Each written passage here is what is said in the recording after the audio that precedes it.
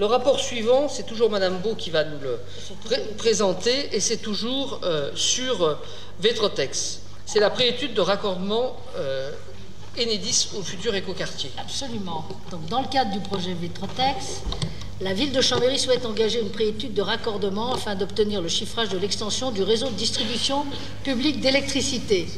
Donc, l'article L342 du Code de l'énergie prévoit qu'effectivement, c'est la ville qui finance ces études.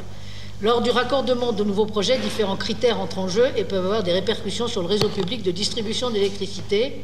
Je passe sur les critères. Il convient donc de prendre en compte ces critères dès la décision d'un projet d'urbanisation ou de renouvellement urbain.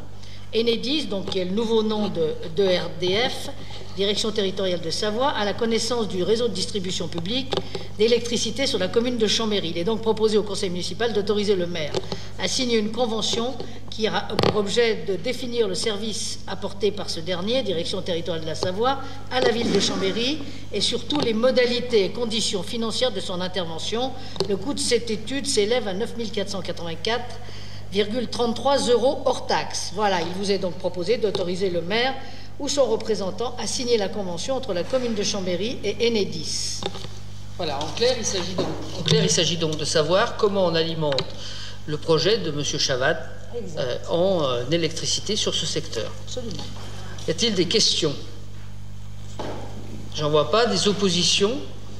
Des abstentions? 10 abstentions. Le projet est donc adopté.